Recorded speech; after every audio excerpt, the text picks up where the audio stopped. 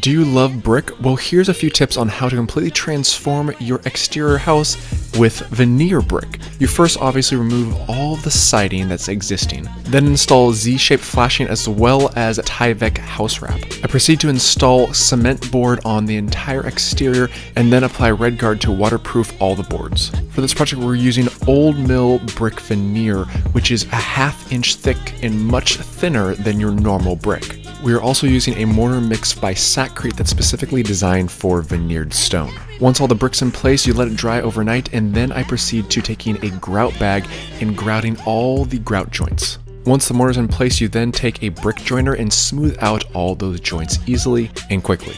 Now that is much better in one beautiful, sexy beast. If you want to check out the full video tutorial, please check out the link in my bio. Thank you.